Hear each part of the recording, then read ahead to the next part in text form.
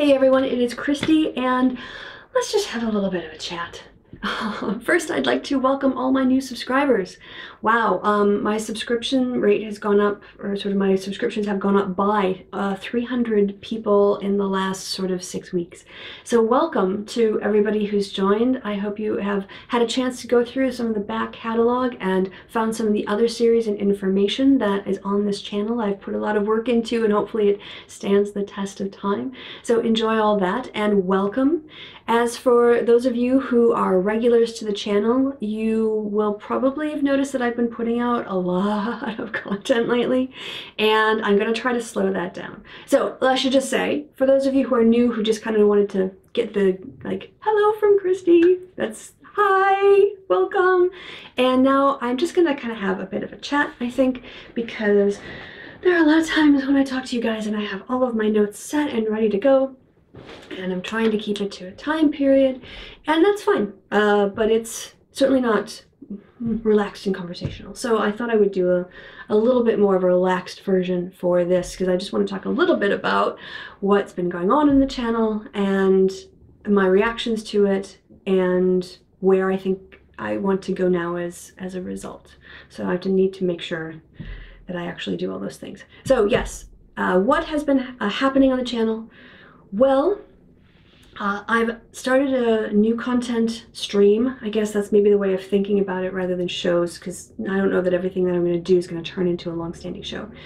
There's a new content stream that I'm doing where I'm analyzing the US presidential race but focusing in on the Republicans. I'm already planning another video based on the analysis of spending that's been coming out from the campaigns over the last few days.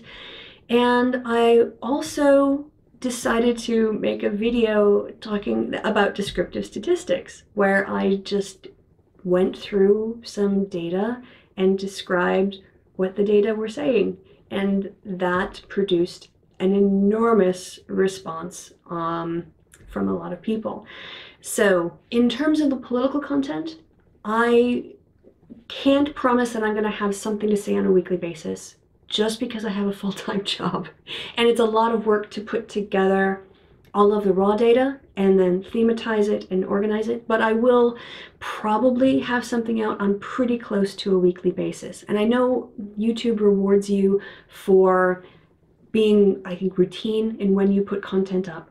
But the thing about politics is that it's very timely. So if I'm putting it up, I'm probably going to put it up sort of randomly rather than on a schedule. So what I would suggest is if you do swing by YouTube and you come by my channel, check my playlists. I've reorganized them now into different themes and you can always check to see if there's new content that you've missed because I brought it out on a Sunday like this and you didn't know about it. On to the discussion of, of feminism. Right. A little history and then I think I'll talk about where I want to take things in the future.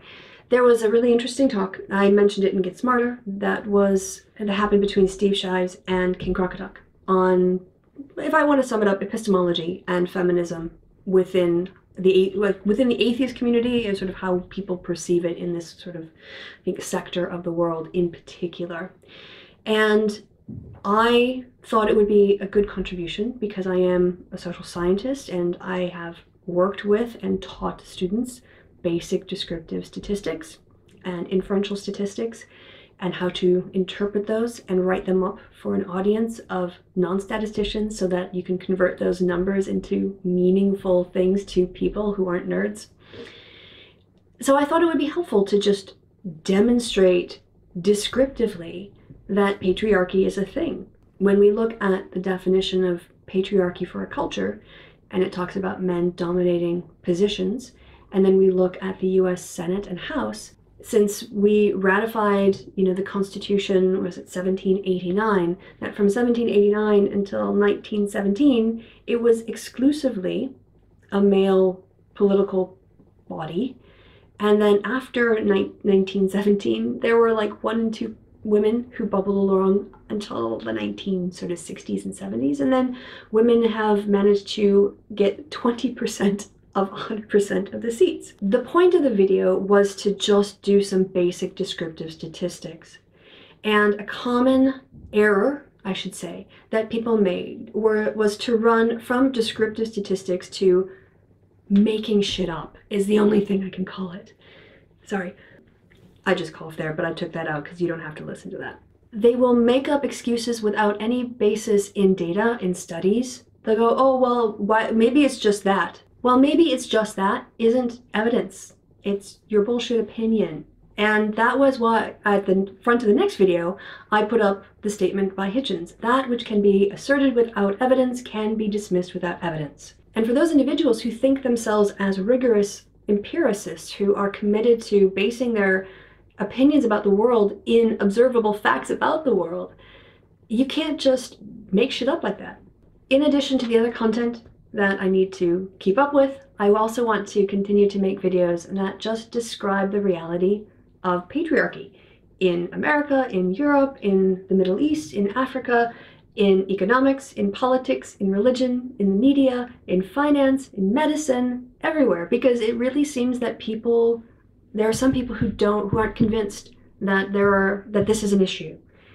And the only thing i can do to convince people who claim to be empiricists is to demonstrate it with data. And i can't just do it on politics and then move to causality because clearly the denial is too profound for that. So the first set of videos is going to be focused on descriptive statistics just demonstrating patterns in the data showing how they work in different ways in the different levels and the different intensities, and just getting a survey of what the world looks like in terms of who holds power based on sex. I will also be doing videos on a philosophy that accompany it, although I won't do them at the same time, I don't think, because they're sort of separate bits. And in those bits of philosophy, I'm going to be defending the fact that the social sciences are science. I know that also seems to be a controversial statement in some quarters, but I will be able to demonstrate it quite clearly. So I'm going to look at that and some more issues of ontology and the way that we can evaluate the social world in ways that we cannot evaluate the material world. And when all of that is done, then I will move on to inferential statistics and causality because um, anything before that point would be premature. And so here's how those videos in terms of my channel are going to work. Even when I'm doing patriarchy videos, I'm going to leave the comments and the likes on. And those of you who've not seen the patriarchy video, the first one that I did, you'll see that I've got like a thousand thumbs down. I don't give a shit about thumbs down. I really don't. I, it doesn't bother me at all. It doesn't humiliate me. It basically just, it's sort of an asshole measure, to be honest, because if you look at the pattern of likes on my channel, if you compare the patriarchy video that was linked by an individual who sent people over to harass me, and then you look at the next one, which was not linked um, by a particular user to send people to that video, you'll see that the up down scale is basically it, it's in, in favor of the content.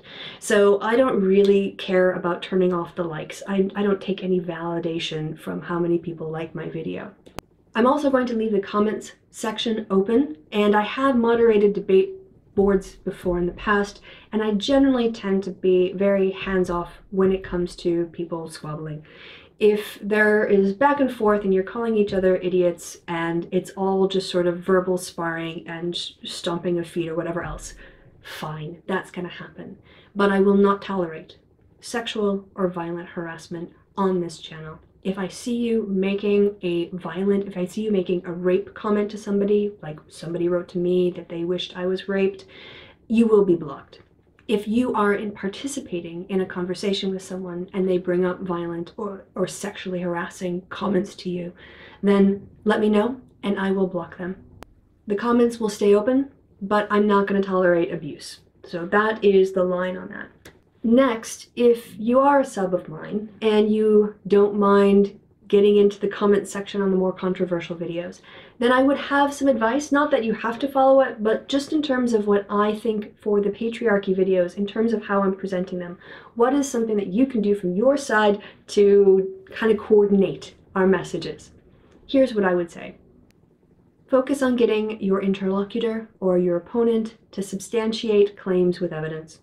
There is a lot of terrible, sloppy, awful thinking that comes in the comments on the patriarchy videos from people who don't know what they're talking about and they make up things as excuses as to why power distribution is unfair and unequal.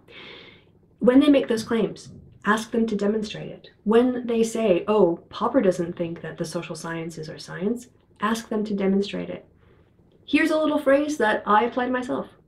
Nobody cares what you think, only what you can demonstrate. And I apply that to my patriarchy videos. I think it's a minimal amount that we can then expect from the people who comment on it. So it's another version of that which can be asserted without evidence, can be dismissed without evidence. I don't care about your opinion. Give me the evidence, give me the facts, and let me look at the conclusions. Let me look at the study. The other thing I would advise is test people to see whether or not they've actually watched the video a lot of the people who came over um, on that day when my video was linked, they were 90% male, they were overwhelmingly from the US and the UK, and they voted down the video at a rate of like 90% or 93%. They also then had an average view time of under two minutes, like about a minute and change. Um, if they come there and just start shitting all over the comment section and they haven't watched the video, call them out on it. if you can't even be bothered to watch the content that you're then making up lies about and characterizing, you just deserve to be laughed at. And I would hope that people who get busted for making up what I said in the video without actually watching the video are laughed out of the comment section. So that would be my my suggestion. All right, guys, that's that's gonna be it. Um, I'm gonna get going, get editing, get these videos out, and just once again, thanks for all of the new subscribers who've joined the channel. Thanks for all of the long-term subscribers who have been sticking around and are still watching. You guys, you guys are awesome. So we'll chat, I'm sure soon, because I have more content coming all the time. Bye.